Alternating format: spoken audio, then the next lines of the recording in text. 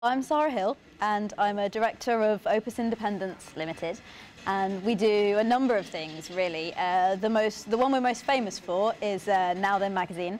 Uh, it's our fifth birthday this month actually. I'm wearing a t-shirt for Now Then in shameless like self-promotion um, but it's, uh, it's a monthly magazine uh, I suppose broadly you call it an arts and culture and politics magazine, um, but we, it's citizen journalism, that's the key. So really we cover anything. If anyone wants to write for us, then they can write for us and send it in to our editor, sam at nowthenmagazine.com.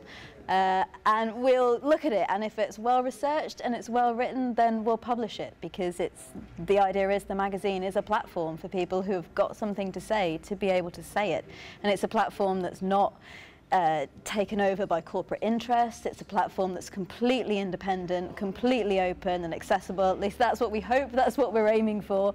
Um, it's free to pick up all around Sheffield. This is our latest edition.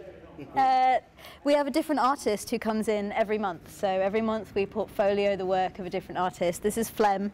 He is a Sheffield institution. He is a god in Sheffield. like, he did our very first edition, so we're so proud to have him back in for our fifth birthday edition. That's been lovely. Um, and the magazine's supported by advertising, um, but we only take adverts from independent businesses or arts institutions, local governments, and no chains, no corporations, no Tesco, nothing like that. It's really about independent Sheffield and creative Sheffield coming together and, and having a platform that's free and open to everybody.